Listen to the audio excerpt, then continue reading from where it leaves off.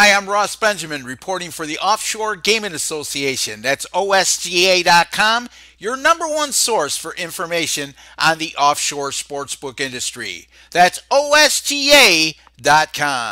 I'm going to be doing a betting preview on Sunday night's NFL nationally televised game between a couple division leaders as the NFC West division leading Los Angeles Rams with an 11 and 1 record travel to Soldier Field in Chicago to take on the 8 and 4 Bears who sit atop the NFC North division. Currently as we speak, the LA Rams are a 3-point favorite and the total is 52 in this contest according to 5 Dimes. Keep in mind folks, I am recording on Thursday, December the 6th. This game is taking place obviously three days later.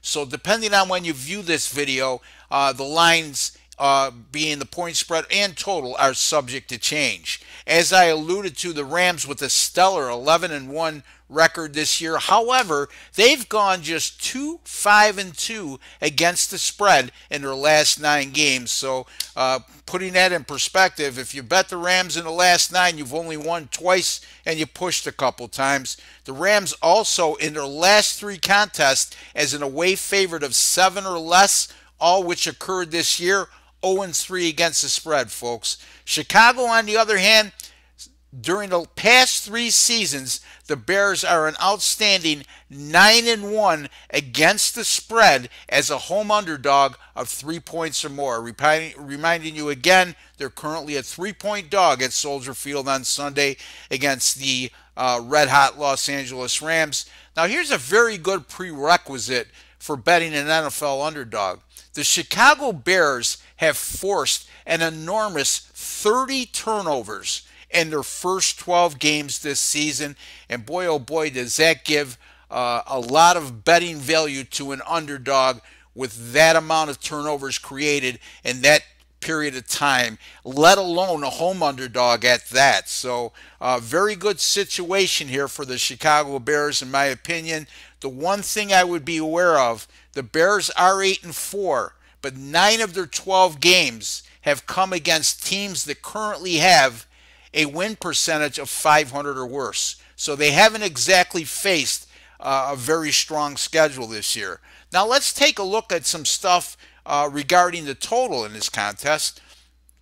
The Rams have scored 29 points or more in 11 of 12 games this year, and that includes in each of their last six. Unless you've been hiding under a rock and you're uh, and you're an NFL observer, you would you would know the Rams are the most prolific uh, NFC scoring offense this season and maybe the best in the NFL, although Kansas City would give them a strong argument in, in that regard. The Rams have also allowed 31 points or more in their last five games versus teams that currently have a winning record.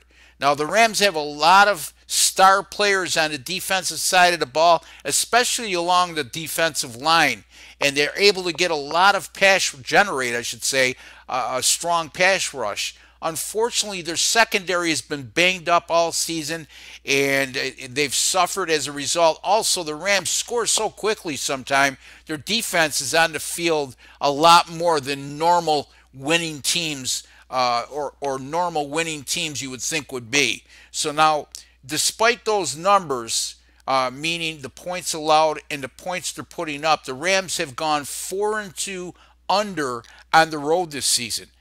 Conversely, the Chicago Bears have gone seven and two over in their last nine games and have scored 23 points or more in each of those nine contests. As a matter of fact, if the total was 43 and a half or greater during that nine game time frame, the Bears were 5 and 0 over the total, and those five games averaged a combined 57 points scored per contest. So again, there's some mixed read here. The Rams going four and two under on the road this year, albeit this is actually, even though the total is 52, a very low total for the Rams if you've been following them this year.